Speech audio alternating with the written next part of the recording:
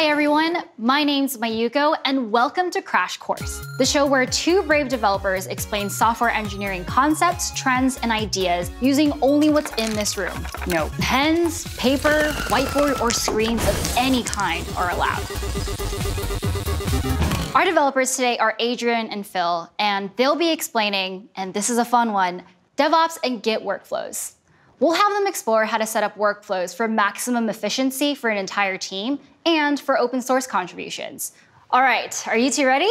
Yes. Yes. Okay, let's go. All right. So we should probably start with showing the actual Git workflow. We should build something to show the changes that we're going to make. Yeah, so that's the thing about Git is it's going to help us keep every version of a thing that we're building. So she's going to figure out what exactly are we building and I'll think about how we're going to version it. This will be our project. So this is our thing. So this is the first version of our project, and we want to make sure we keep track of it. So I'm going to take a snapshot of it. We got a Polaroid here. So this represents the version one of this sculpture. But let's say I wanted to make a change to this. So I think the hand should be holding something. I think it should hold a controller. So for my second change, we're gonna go from this state to this one holding a controller. So we're working together and I'll make a change and mm-hmm. I'll add a green ball to it. And you can imagine at each step, each of these represents the snapshot that I took earlier. What do you think of my change? I like it, it's all right. I don't like it. You don't like I it? I really don't like the green ball. Uh-oh. If Mayuko doesn't like this change, we can easily take that change away. And we can do that by reverting back to our second version. This is what I would like.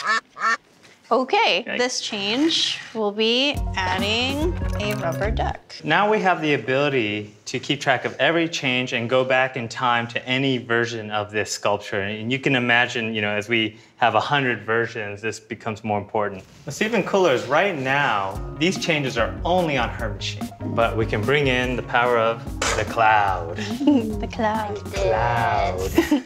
and for Phil to access it, we would do what's called a git push. And what that means is we're taking a copy of my changes and we're going to push to the remote server, our cloud here, and now this is available for Phil.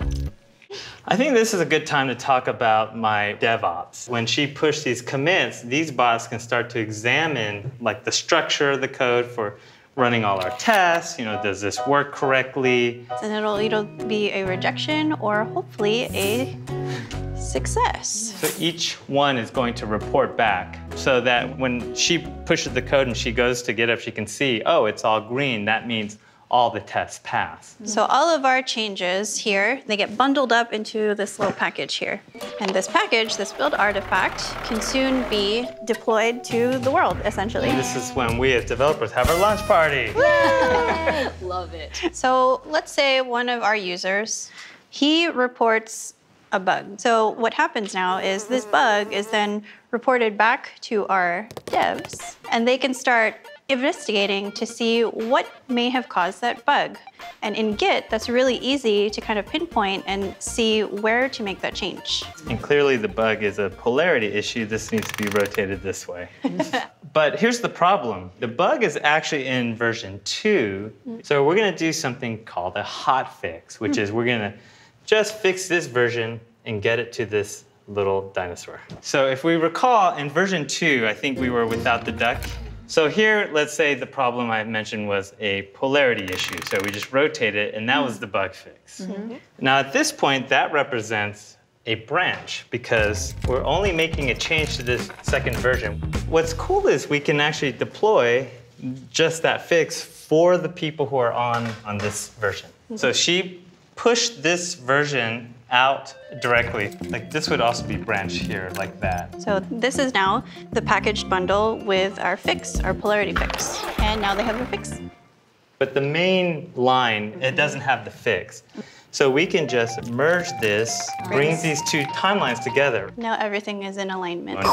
And then when she pushes this to the cloud, the bots kick in again and then automatically deploy the fix. So for completeness, the new version is gonna look like that.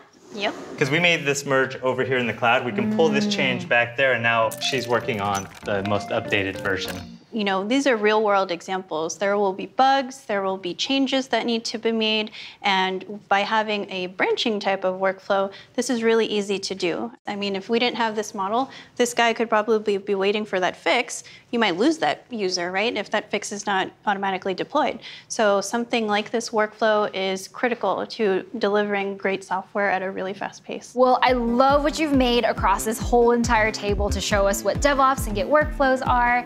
Thank you so much to Phil and Adrienne for being on the show today, and we'll see you on the next crash course. Did you break the world, Phil? Yeah, let's find another planet to populate.